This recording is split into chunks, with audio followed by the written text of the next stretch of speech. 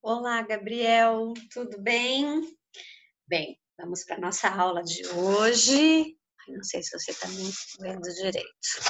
Hoje eu quero, nós queremos, quero trabalhar com você produção de texto e hoje eu quero falar com você.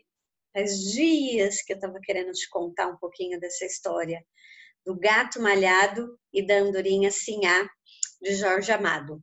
É, acho que é a mais bela história de amor que eu conheço, de tantas que eu já li. Bem, primeiro imagine só, você ganhar de presente de aniversário de um ano de idade uma história. Deve ser lindo, né? Jorge Amado estava exilado em Paris quando o filho dele, João, fez um ano de idade. E aí ele deixou de presente para o filho dele essa história.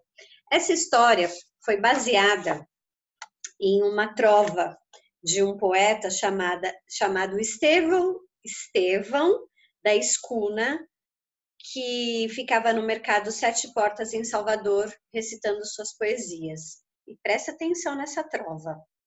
O mundo só vai prestar para nele se viver num dia em que a gente ver um gato maltês casar com uma alegre andorinha, saindo os dois a voar o noivo e sua noivinha, Dom Gato e Dona Andorinha. Então, baseada nesse trecho de poesia, ele fez essa história de amor, que é uma fábula. Lembra que é uma fábula? Quando os animais se comportam como seres humanos, ou aqui nessa história, como seres humanos se comportam como animais, é uma história que vale a pena ser lida. E ela é mais ou menos assim. Tinha um gato na floresta, ranzinza, emburrado, com cara de bravo, sabe? E ele ficava só passeando pela floresta. E todos os animais da floresta achavam que ele era um gato mau. Então apareciam galinhas mortas, eles achavam que era o gato. Tudo era culpa do gato. E o gato sempre lá, com aquele jeito de gato né? Ficava por cima das árvores, meio com aquela cara de que não quero ter bons amigos, até que um dia ele conheceu a andorinha. E ela era atrevida. Pensa numa andorinha atrevida que não tinha medo daquela cara de mal dele. E ela ainda falava para ele: Pensa que eu tenho medo de você? Eu não tenho. Tão delicadinha a mandorinha, né, Gabriel? E ela nem aí pro gato ficava toda cheia de graça e cantava e dava voos rasantes e ele começou a se assustar. Mas eu quero dizer uma coisa para você: esse gato não era o gato mau, né? Ele só era rejeitado por aquela sociedade. Isso lembra alguma coisa? Parece tão comum, né, entre os seres humanos isso acontecer. Ninguém queria saber do gato, mas na verdade ele salvava, ele ajudava todos os que moravam na floresta.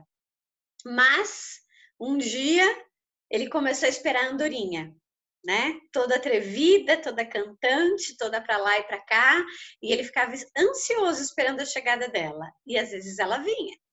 Vinha toda sorridente e ainda com os voos rasantes dela começou a procurar assunto com o gato.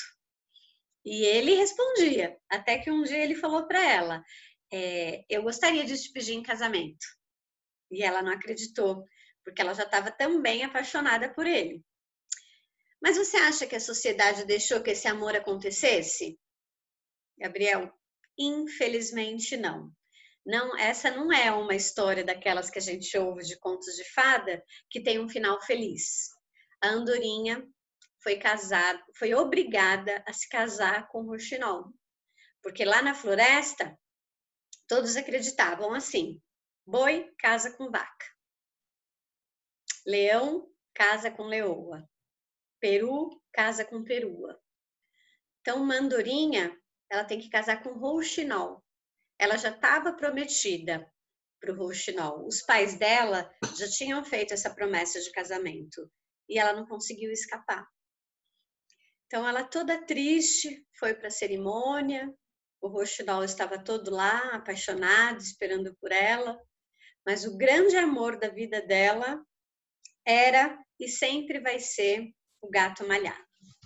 Também indico essa leitura para você fazer com a sua mãe Se vocês quiserem ler um livro lindo, é esse aqui. Eu não me canso. Já assisti até peça de teatro, é simplesmente maravilhoso. Qual será a minha proposta para você, então? Você deve conhecer histórias de amor, né? Ou pode criar uma se você quiser. Manda para mim. Já corrigi sua prova, que bom que você fez. Já recebi suas atividades também que eu te mandei, tá bom? Então agora eu espero essa. Escreve um texto para mim, eu vou ficar muito feliz em ler, tá? Sobre uma história de amor. Pode ser uma que você já conhece, pode ser de um conto de fadas que você já leu, o que você preferir, tá bom? O importante é que você escreva. Tô te esperando. Ah, e agora tá chegando mais perto nosso encontro, né? Já estou ansiosa por encontrar todos vocês e eu acredito que você também, né, Gabriel?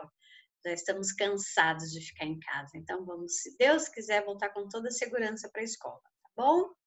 Então eu aguardo a sua atividade. Um beijo bem grande e até lá.